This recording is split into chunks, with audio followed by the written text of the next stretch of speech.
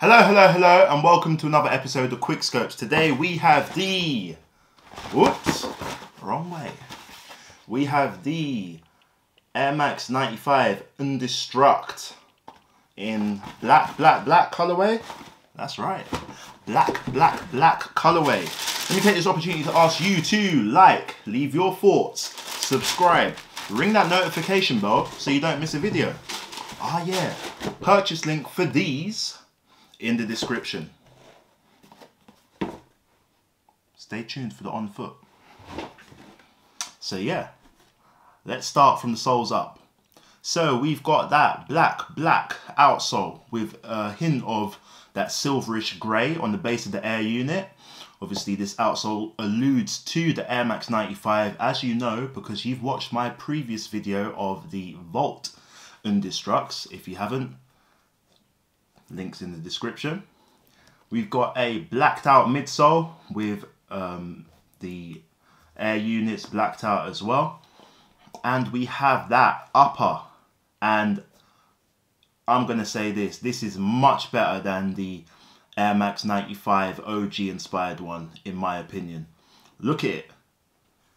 It, it works. It works. It's blacked out, that Robocop, that Batmobile. But let's let's let's start from this toe.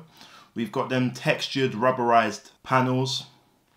We've got that sort of um, ripstop-esque material. We've got mesh as well on the upper. We got that extra piece of rubberized material with the textures going along. All in black We've got the blacked out swoosh, the rubber swoosh, the outline and the swoosh inside.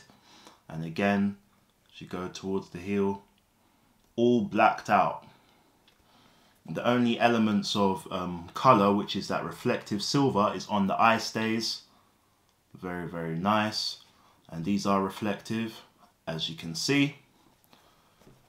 If you look along up the tongue, that Air Max 95 tongue Again, blacked out logo for the um, tongue tab. Very, very cool. Very, very nice. The aglets, I'm not sure if these are plastic or metal, but if you look at those aglets, hopefully that's in focus. Very, very cool. Wow. Sock liner, blacked out. Insole, blacked out. Even the Nike Air on the insole is blacked out. Yeah, this pair is much better than the Volt pair. Let me know what you think of this pair. Air Max 95 NDSTRKT. Yeah. Laces, cool. Those rope laces. There's a little bit of design on them as well. Hopefully the camera can pick it up. A little bit of design on them laces. Like it's not a solid rope as such. It's like a sort of weaved, weaved in pattern. Very, very cool. Yeah, man, what do you think of this pair? And how does it compare to the the um, the OG inspired pair, which I've reviewed previously?